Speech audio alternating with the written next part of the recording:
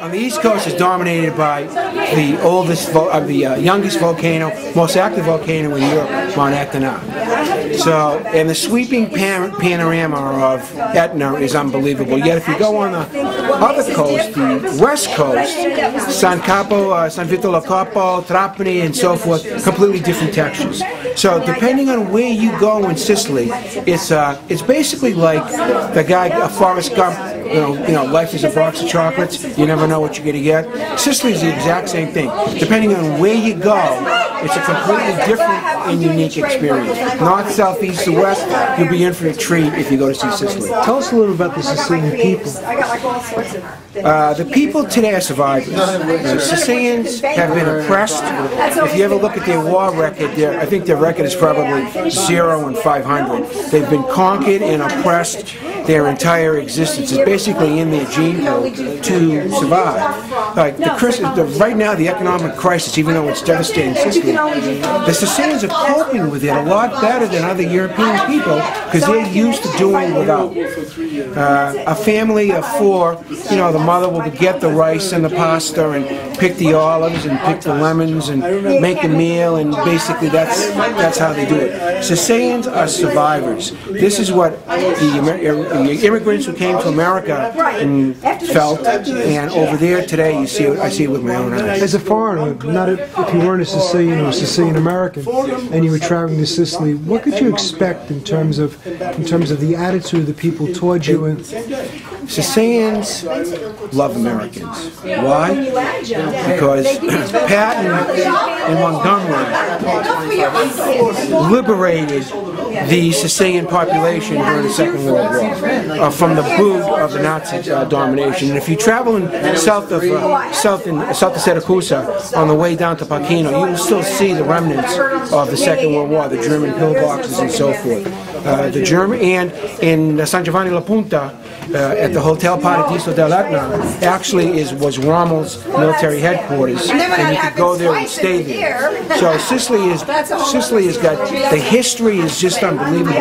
Whether it's the Roman or Greek ruins that are still there, whether it's the Span if you go to Etna, I mean uh, Enna in the middle of the country, that's Spanish. No matter where you go, it's a different. And Messina is different, as you know. So basically, it's it's a wonderful country. It's a wonderful. Country. So since you first arrived, uh, what, what are some of your most powerful physical images, places, images of Sicily that stay the with you? The smell of the soil. I picked up the soil and I smelled it for the first time. And what I was thinking about when I did that was this was the same soil that my great grandfather and my grandfathers tilled and farmed. Uh, when they were young kids, and the feeling overwhelmed me. And, I, and to this day, I remember I planted a lemon tree, a fig tree, a mandarin tree, and an olive tree in the front of my yard. It was a very hot day in August. It was probably the most emotional day of my life. Recreate what I did, recreating with my, with my, uh, my grandparents and my great grandparents did. It's very difficult to put in words emotions. I try, but you know, I'm not Hemingway. That's what I'll tell you. I'm just a regular guy from Lawrence, Massachusetts, trying to get the word out.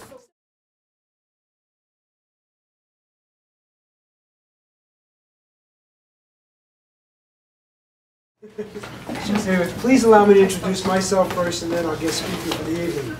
Uh, for those of you who have not been here before, this is the Italian American Museum, and my name is Dr. Joseph Scelsa. I'm the founder and president of the museum. That's enough. Basta. Some of you, some of you remember the New York Historical Society exhibit that took place in 1999. Well, I was the impresario that put that together. As a result of that exhibition, people said to me, you have to have a museum. So in 2001, the University of the State of New York granted me a charter as the first Italian-American museum in the United States of America. So this is the first one uh, officially designated as an Italian-American museum. Now, you can see we're not too large at this point, but there are a lot of very interesting things in here, from the Sicilian-style puppets that you saw as you walked in, uh, to the organ grinder in the back, and everything, and everything in between. We are expanding. Within the next two months, we'll be three times the size of what we are right now. We're going in this way and downstairs as well. when you come back, I hope you won't be as tight. In any case, it's a pleasure to have you all, and we really do appreciate our guest speakers when they come. We have somebody very interesting to speak this evening, Cecilia.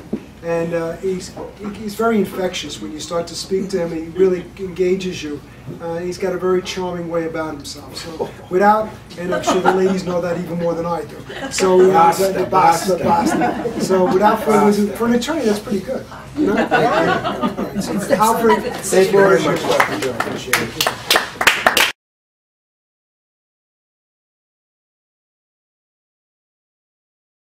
Before I get started this evening, and I'm going to speak really quick, he's already given me 45 minutes.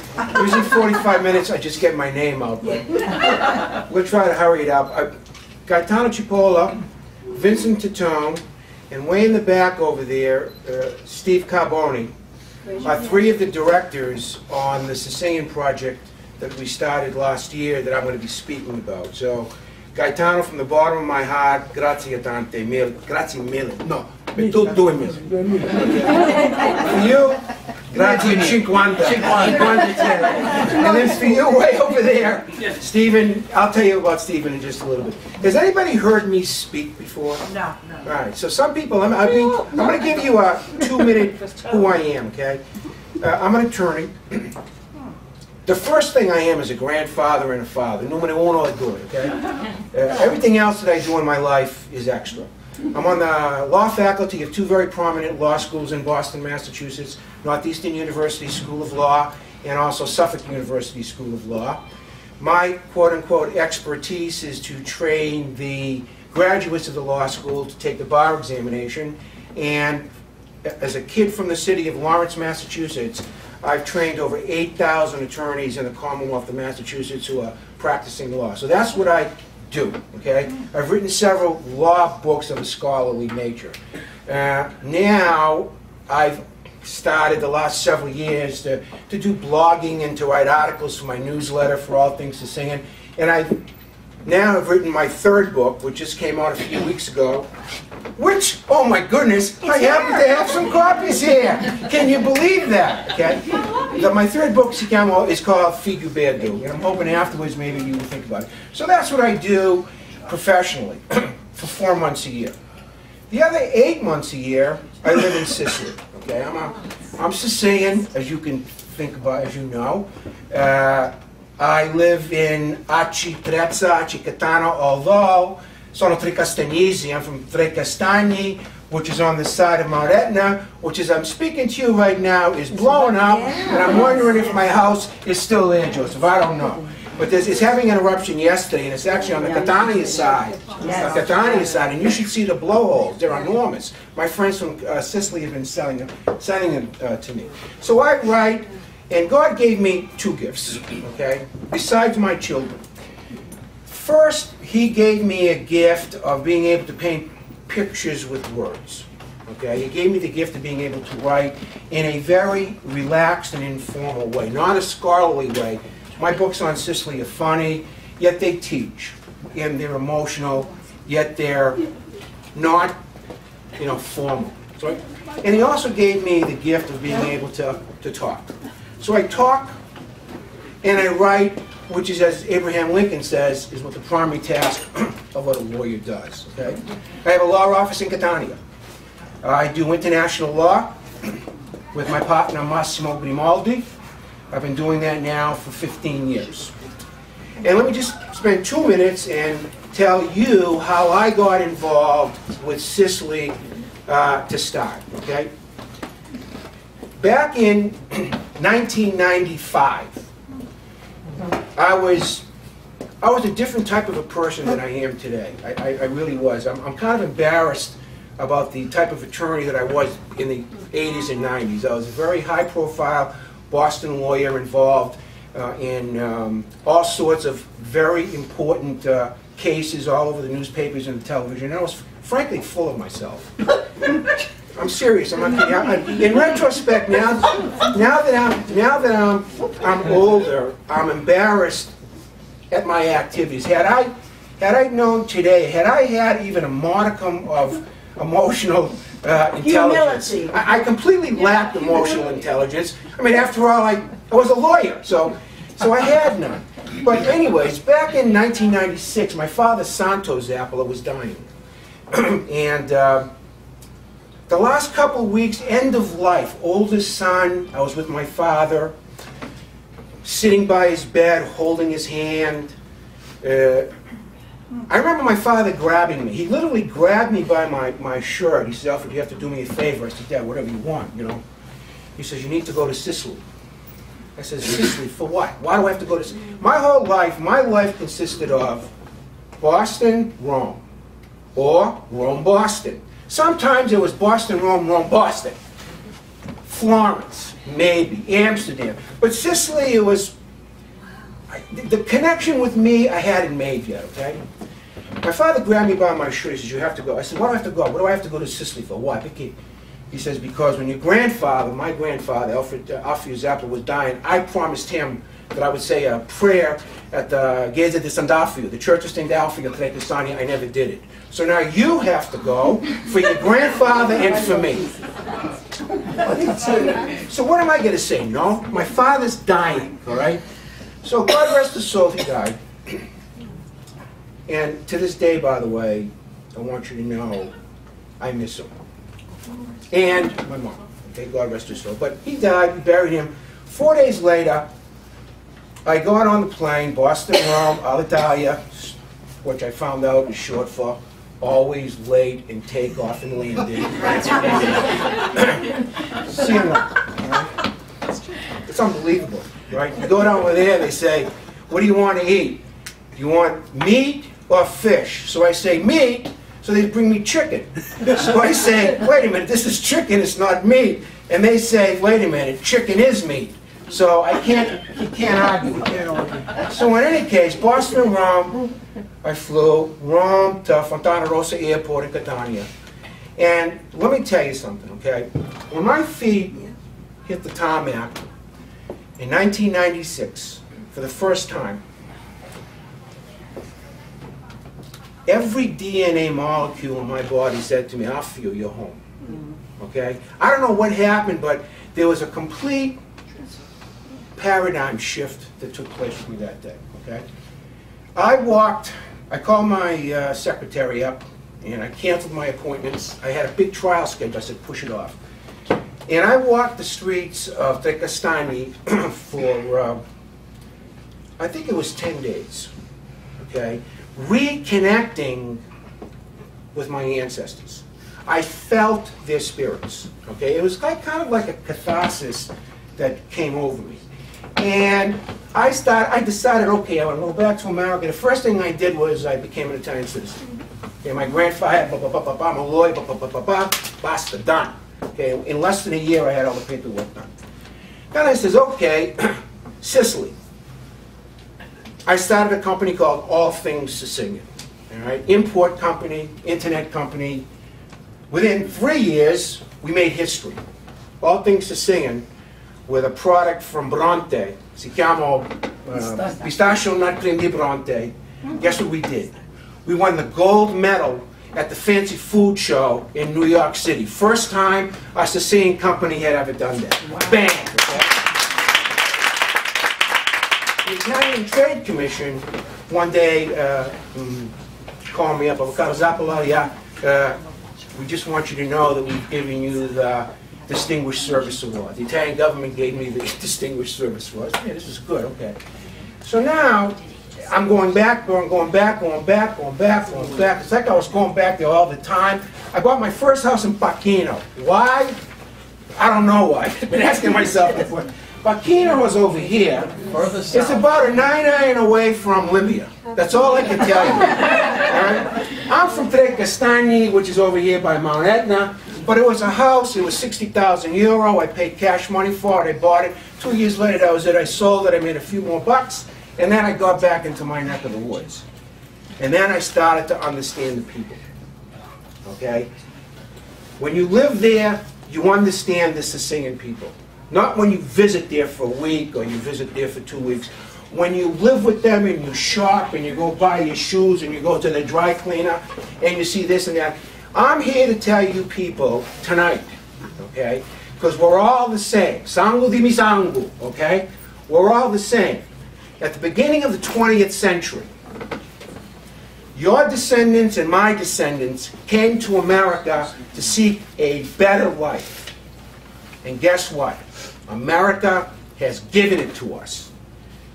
Sicilian Americans represent the largest group of Italian Americans. There are 12 million of us. There are 30 million Italian Americans. There are 12 million Sicilian Americans. And New York City has the largest concentration of Sicilian Americans. I'm telling you right now, and what I am now, I'm like the Sicilian John the Baptist now. Sicily needs you. Okay? Because now, as opposed to the beginning of the 20th century, when the unskilled labor came, because of the influenza outbreak or this or that, and they came to America seeking the roads of glory and gold, today there is a critical drain, intellectual drainage going on of the kids. Okay? By kids, I mean from 16 to 24 that have a 54% unemployment rate. Okay? 54 un- why? Because they can't speak, one of the reasons they can't speak English. Why can't they speak English? Because the education system in certain parts of Sicily, it really isn't what you know. It's who you know. Everything in Sicily, it's old time. Okay? Old things are hard to change. And if you know somebody who knows somebody who opens up a door, guess what? You have a job, you gotta start tomorrow, jade. Okay? You gotta teach English to the 12th graders. You're a page ahead of the kids. Okay? The kids, you can't speak English, the kids can't speak English, and our kids are now competing against the bilingual countries of Germany, Holland, Belgium, Ireland, England, and we have a 54, and our kids are leaving Sicily. And they're working in the mainland. And they're going from the mainland to Germany, to France, to Spain. Sicily is becoming a country of old people and young people. The vital middle class, the intelligentsia that is so important for a country to survive, is dissipating. And you and me, we now have a moral obligation, not an obligation, we have a moral obligation because of who we are, because of what Sicily has done for us and our progeny. My son Matthew is a lawyer. My daughter Jennifer is a special education teacher. My daughter Katie, that you met last year, is a musical artist. My kids are where they are today. I'm where I am today because of my grandfather Gaetano Torrisi and my other grandfather Alfio Zappala, both guys who couldn't speak a word of English. My grandfather Gaetano came in the year 1908, 12 US dollars in his pocket. And I'm sure you have the same story. So, I started to talk about it. And I started to write about it. First, I had to learn about it. And there's a lot of stuff out there that so-called authors write about that, you know, history is written by the victors. Okay? And there's a lot of stuff out there, in my view, that really isn't accurate. Okay? So I just decided, you want to know something? I'm just a normal guy, I'm a kid from the city of Lawrence, Massachusetts. I'm just going to write what I see. Okay? Because the people back in America, I can relate to them. And if I see this and I write it, they're going to understand what I'm talking about. Okay? So, last year, when I came out with this book, Gaetano's Trunk, there was a chapter in there that I said if I was a millionaire, which by the way I'm not, but if I was a millionaire, what I would do with my money is I would train Sicilian kids how to speak English so they can compete in the Eu- European Union. And the example I have to give you is a very real example, okay? At the Fancy Food Show in New York City at the Jacob Javits Center, okay?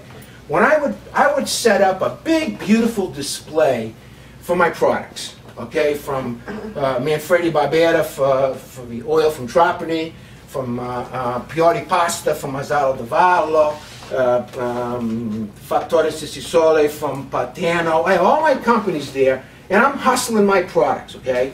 Meanwhile, on the next aisle is the Italian delegation, who the vendors there, the money comes from the region, so they're not paying for it, numero uno.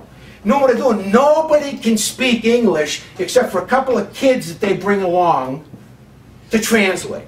So as a result, when a, when a person comes in like from, you know, like a big department store and they want to know about their product, you know, how many come on a skid, what's the price, what's the shelf life, what's this one, we, we, have, we have stupid people. And as a result, the Italians go home with no, except for those Italians who can speak English. The rest of them get a free vacation in America for one week, all expenses paid, they stay at the Roosevelt Hotel. Ciao, I think I'm going to come next year, but they don't sell anything. Okay? I saw this. So I wrote about it.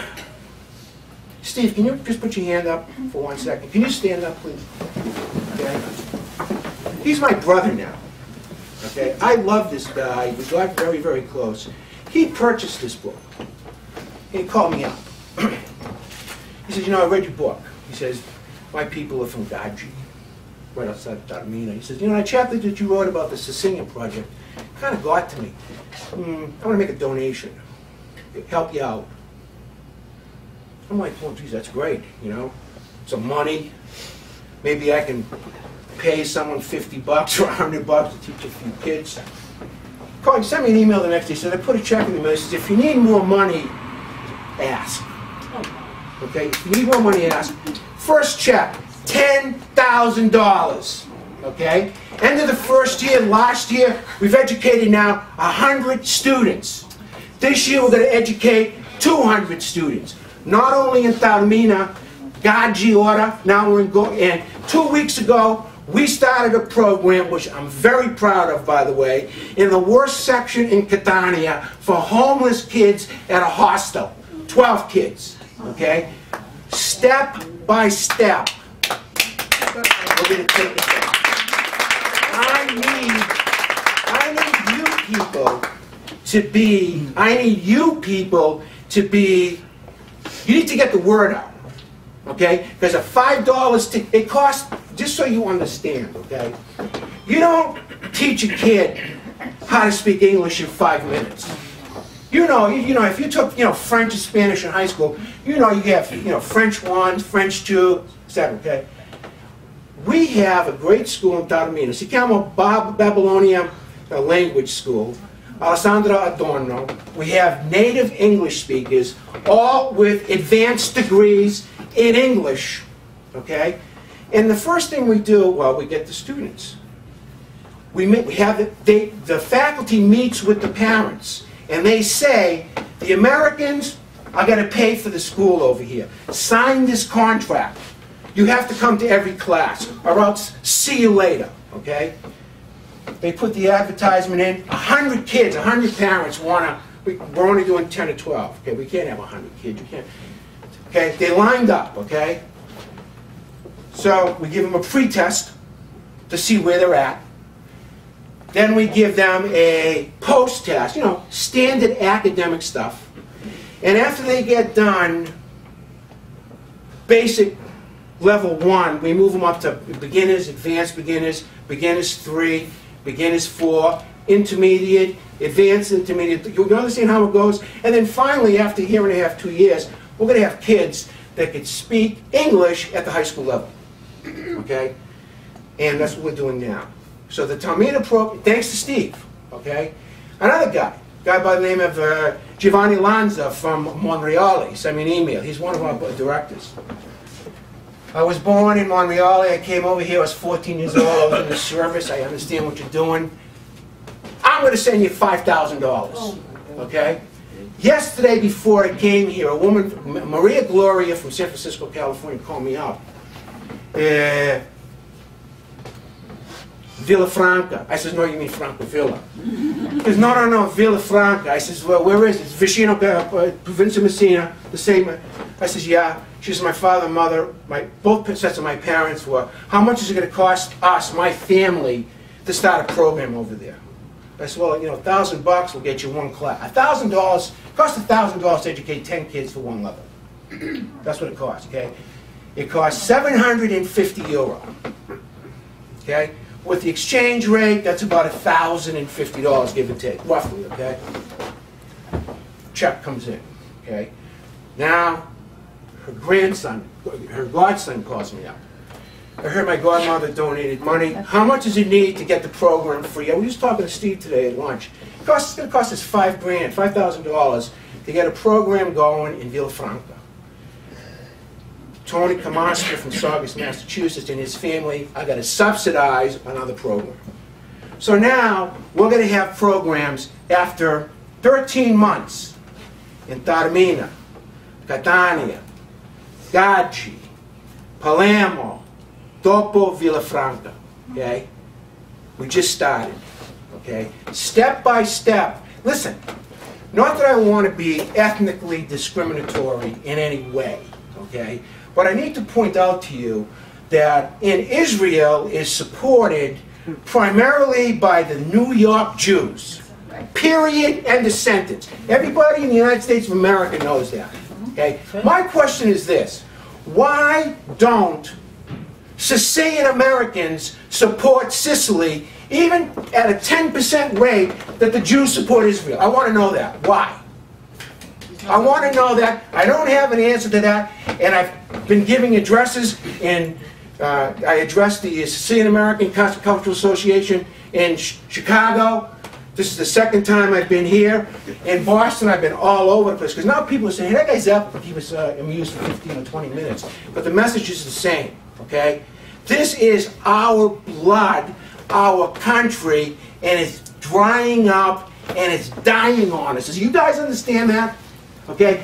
La crisi is strangling our country. Okay? It's urgent. Now, somebody loses their job, father, okay? Four kids. You think they have the support system there as we do here? Here, you know, thanks to Obama, you know, for those of you, you could you could stay out of work practically, I don't know how long, a wicked long time, as my kids would say. A couple years, right? You get free medical, you get free this, you get housing assistance. uh, 350 euro, 12 payments, one year, basta, ciao. Okay? 350 euros, less, almost 500 bucks. Okay? How can a father with children who's paying 400 or 450 euro a month for rent, plus of course expenses, food, clothing, everything, how can they possibly afford to feed a family? Tell me. Because in the background, who's in the background now? You want to make some extra money? The mafia mm-hmm. is growing. The right is growing. Now I'm starting to see fascist symbols on the graffiti. Mm-hmm. Okay? I don't like what I'm seeing. Okay? The left. There's nobody in the middle. Because in desperation, when people are desperate, they do desperate things. So, I wrote another chapter in the book, in my second book. And next year, when I write my third book, there's going to be another chapter. And if there's a fifth book, there's going to be another chapter. And if I have to get on top of Mount Etna between eruptions to talk about it, I'm gonna, okay? The answer lies in New York City. The answer lies in Chicago. The answer doesn't lie in Minneapolis, Minnesota, where there's six Italians, okay? Here, okay? So, I need money. Well, I don't need money. The Sicilian Project needs money. And it's not that I'm asking and I have to hustle a hundred thousand bucks, because Steve and I were talking about it. You know, I don't get paid for this. I'm a lawyer. I'm a writer, okay? I don't get paid for this. I do it because I love. Gaetano doesn't get paid. Vincent doesn't get paid. Steven is paying for everything. But it would be nice if I can find a few more angels. In our budget, if we can get up right now for this year, if we do 15, 20,000 bucks, our 200 kids are educated. We have in the bank and committed by pledges, you have, of course, you know, you've got the winter quarter, the spring quarter, the summer quarter, the fall quarter. We have enough now to pay for the first three quarters. Okay? We're paid up now until the last quarter. I need to pick up 5,000 or 10,000 more dollars to finish off this academic year, and then next year, it's another year. We have more students to, to do. This is the first time, and no government, there's no bureaucrat, there's no Italian, the Italians are out of it. The Sicilian government is out of it, because if they were in it, it'd get screwed up. This is a, do- and we don't hire anybody. This is a direct, what they call an academic grant. We have retained the finest school in Sicily with the most qualified teachers, and we are furnishing to them grants. And they, in turn, are using their teachers in the areas that we direct them to. I would love to get programs in, for example, Syracuse. Okay? I would love to get a program, for example, on the West Coast. Even though I'm from the East Coast, I'll 'em a few peanuts here and there. Just a joke. No, but you know what I'm saying. You know, I mean, but if we could have somebody that sends me an email or calls, say, Alfred, you know, my grandparents were from Cefalù. By the way, Cefalù is beautiful. Take your breath away, okay? Has anybody been to Cefalù? Yeah, put that on your list of places to go. That cathedral there is just... Actually, can I say something to you about Sicily? There are so many, there are so many places in Sicily that are simply unforgettable, that will burn images in your heart that you will take to your grave. And I'll, I'll tell you one last story, okay? And then I'll take questions, because you only let me speak for a little while, even though I can speak faster. That's fine. My, my mom, Antoinette, God rest her soul, she died a couple years ago, when she was 80. She wanted to go to Sicily. She had never gone. I said, 80 years old, I'm gonna take her. My present to my, my, and I took my daughter Jennifer, who's my oldest. I said, Jen, you wanna come to Sicily? Your job is to take care of Nana. So me, Jen, right? And I knew, because I had just done my citizenship paperwork, where her mother had come from, like Steiny. I knew exactly where the house was. The reason I knew the house was because my friend Sada Messina had tracked the house down for me. And when I was there, I knocked on the door. Knock, knock, knock. Guy opened the door. I says, "Mr. Mi Avvocato Zappala. The guy was a retired judge named Messina. He says, what's the story? I said, listen, my grandmother, this was my grandmother's house. I'm bringing my mother here a couple of weeks. I want her to come in. He goes, are you, was your mother the Gaggi woman? I says, yeah. He says to me, we preserved everything. I said, what do you mean you preserved everything? He says, come. He gave me a tour. And everything that was in that, that house was antique. The guy had lovingly restored it, okay? The look on my mother's face when I brought it to that house, okay? And you know my mom was clutching in her hand when she died? The pictures of that house. That's what Sicily is. That's what we are. Okay? That's what we are. I need help. Steve needs help. Vincent needs help. Gaetano has spent an entire career doing this. Can you imagine that? He is my idol. I don't have any idols. But this guy is. Okay? He has been a clarion talking about Sicily. And Joseph now with this museum. Okay? We need to teach our children. We cannot forget our cultural background, whether it's Sicilian, Italian, this is who we are. This is where our blood comes from, people. Okay? In a few years, you know, our generation is going to be dying off. I want my kids, and my kids, by the way, have been with me many times to Sicily. I want my kids to have the memories of Sicily like I have the memories of Sicily. So that's why I came here today. I came here today to talk to you about it. You can buy my book. You can buy them all, as a matter of fact. Because what do I do with the money in any case? I use it to travel here and here to talk about what? The Sicilian project. So that's what I wanted to come here, and I, Joseph, thank you very much for having me here. It's a, it's a deadly serious thing that's happening right now in Sicily, folks. Okay, deadly serious. So now, I'll take, is it time now to do some questions? Anybody have any specific questions